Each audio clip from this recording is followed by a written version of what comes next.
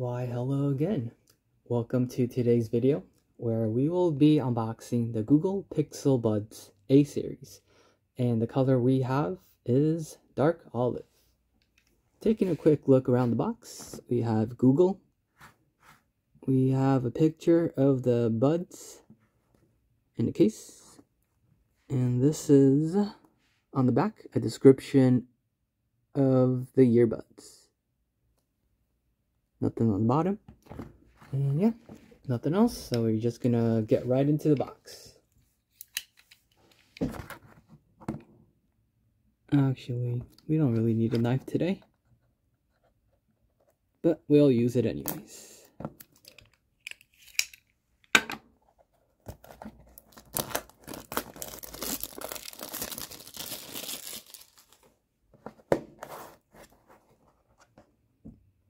Opens from the bottom as well.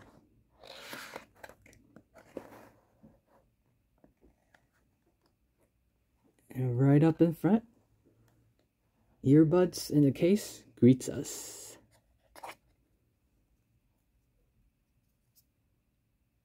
It's kind of interesting how usually these cases for the buds, if they're white, they're mostly just all white. But this one, it has a dark olive color trim. So that's pretty interesting. On the bottom, we have the USB-C charging ports. So, charges via USB-C.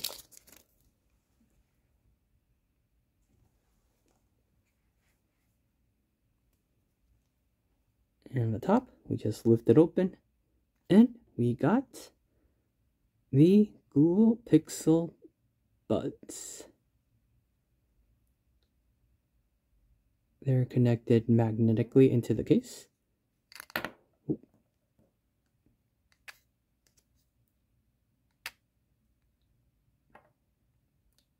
And yeah, that's pretty neat. Taking a closer look at the earbuds. It has the two charging pins. And yeah, not much information on there besides which side of the ear it's supposed to be on. So this is the left one, and this is the right one.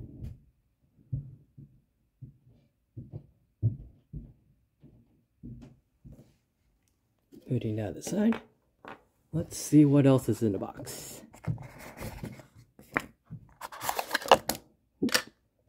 Out pops out the USB-A to USB-C charging cable. That's pretty nifty. And wonder what this is. Oh, I think this is the extra sizes for the earbuds. Yeah, so they have different sizes if the regular one doesn't fit.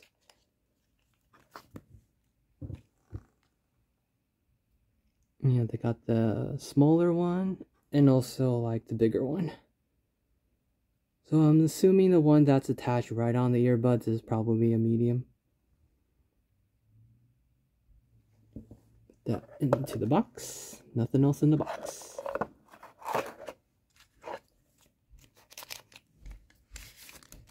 Now taking a quick look at the instruction manuals. Well, this is the safety warranty and regulatory manual.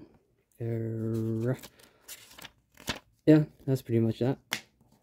And now a quick start guide.